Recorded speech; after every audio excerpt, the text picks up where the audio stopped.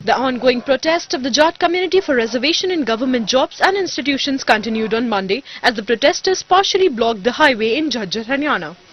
Samjhauta Express, the train that connects India and Pakistan, was also cancelled due to the ongoing unrest.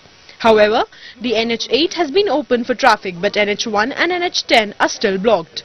No roads have been blocked in Gurgaon and the situation is expected to remain normal today. Correspondent Sonu from Jhajjar for ANI.